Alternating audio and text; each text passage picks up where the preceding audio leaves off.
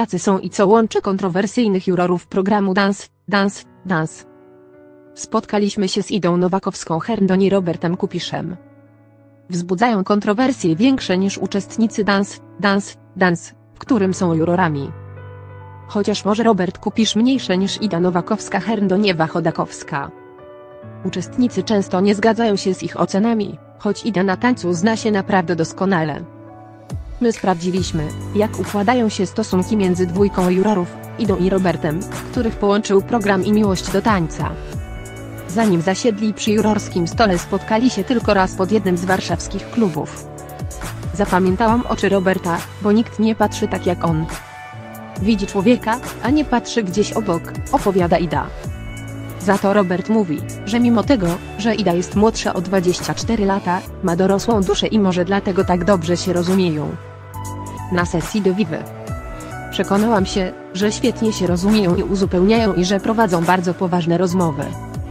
Nie tylko o tańcu. To przypadek, że razem jesteście w jury nowego tanecznego programu. Ida, to zrządzenie losu, śmiech. Marzyłam, żeby w jury zasiedli ludzie, których coś połączy. I wcale nie mam tu na myśli tańca. Robert, długo czekałem z decyzją, czy wziąć udział.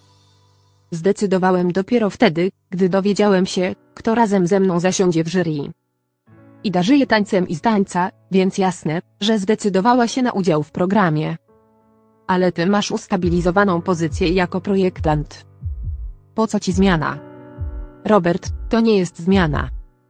Mogłem sobie na to pozwolić właśnie dlatego, że moja firma działa tak, jak sobie to wymarzyłem, i mam osoby, jak moja wspólniczka Ania Bolowska, dzięki którym mogę zaangażować się w coś innego. A ja bardzo chciałem zasiąść w tym jury, bo potrzebowałem nowych inspiracji. Ewa, Ida i ja inspirujemy się nawzajem. Jakie są dziewczyny? Robert, Ida jest światowa. Nie lęka się mieszkać w Los Angeles, w Paryżu, robić międzynarodowe projekty. Ma dużo pozytywnej energii. A przy tym jest serdeczna i ma radość z tego, co robi. Za to Ewa jest prawdziwym kobaltachem. Motywuje ludzi do pracy, do bycia niezależną i silną osobą. Macie szansę na to, by zostać przyjaciółmi. Robert, nie mówię nie. Ale przyjaźń buduje się latami, więc nie. Nadużywam tego słowa. Bardzo dziewczyny lubię i lubię z nimi przebywać, ale widzę, że każdy z nas ma swój świat, a poza tym one mają bardzo mało czasu. Śmiech. Kto rządzi w waszym jury? Ida, zanim zaczęły się nagrania, myślałam, że zostanie nim jedyny mężczyzna w tym gronie. Ale zapanowała równowaga.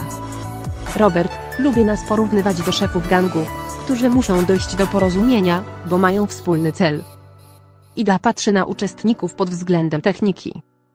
Ewa, której żywiołem jest fitness, zdrowe żywienie, patrzy jeszcze inaczej. Jak widzę lęki naszych uczestników. Ida, patrzę na uczestnika jak na ciało, które przede mną tańczy. Nie jako kolegę czy koleżankę. Ewa widzi, co jest z tym ciałem nie tak, czy działa tak, jak powinno. A Robert widzi wszystko wokoło. Jest takim naszym filozofem, śmiech. Robert, nawet jeśli mamy odmienne zdanie, to nie znaczy, że występujemy przeciwko sobie. Ida, bardzo dbamy o to, by między nami nie było negatywnych emocji. Robert, człowiek wielu talentów. Ida Nowakowska-Herndon od dzieciństwa związana jest z tańcem. Wydaje się więc, że jej udział w programie był oczywisty. Za to Robert Kupisz od 10 lat znany jest jako projektant. Wcześniej był fryzjerem, pracował przy sesjach zdjęciowych, reklamach, dla opery paryskiej. Mało kto pamięta, że był też mistrzem w tańcach latynoamerykańskich i miał swoją szkołę tańca w Kielcach. Jego uczniami byli m.in. Edyta Herbuś i Tomasz Barański. Robert, taniec jest moją wielką pasją. Od dzieciństwa. Gdy chodziłem do szkoły podstawowej, przeniosłem się do Kielc. I bardzo chciałem zapisać się na zajęcia taneczne. W jedynej szkole, jaka tam była, była tylko grupa dla dorosłych. Powiedziano mi, że jeśli chcę się uczyć, muszę namówić inne dzieciaki, żeby się zapisały. I choć niewiele osób znałem, miałem takie ciśnienie, że je namówiłem. Później, pod koniec studiów, założyłem własną szkołę i prowadziłem ją przez 10 lat. Twoi wychowankowie byli wielokrotnymi mistrzami w tańcu, pracowałeś w Paryżu, gdzie robiłeś fryzury do opery paryskiej. Jesteś dzieckiem szczęścia.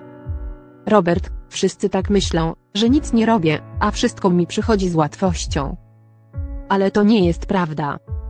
Wszystko jest okupione ciężką pracą i lękami. Jeżeli nie ruszysz z domu, nie będziesz ciężko pracować, to talent nic ci nie pomoże. Niczego nie dostałem za darmo.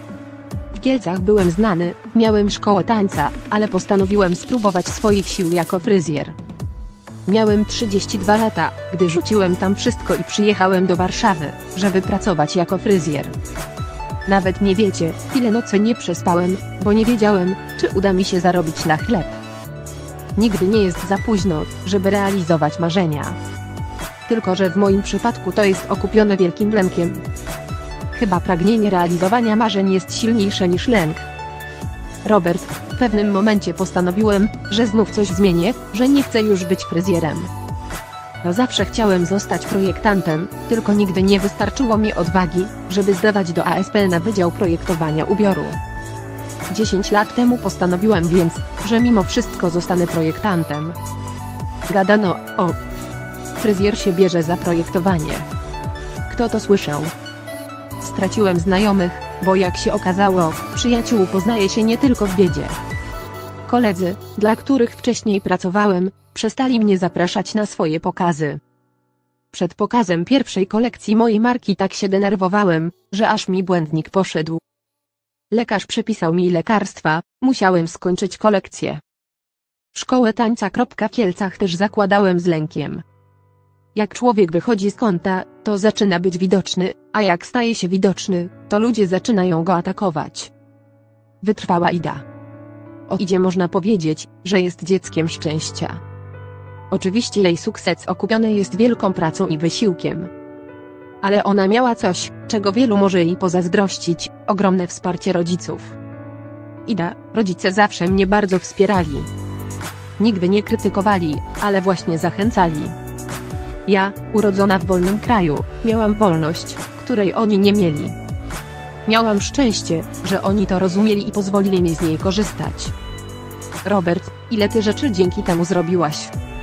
Skończyłaś szkołę baletową, występowałaś w teatrze Roma, dostałaś się na prawo, a potem do szkoły aktorskiej. Dorastałam w teatrze z dużo starszymi ludźmi. W dużo krótszym czasie przeżyłam dużo różnych rzeczy, że to mi albo, jak woli Robert, mojej duszy dodało lat wyszłam za mąż w bardzo młodym wieku, szybko straciłam tatę, bo był starszym ojcem, w ogóle prawie cała moja rodzina zmarła, wcześniej zaczęłam karierę. A dzisiaj mam 28 lat i czuję się spełniona.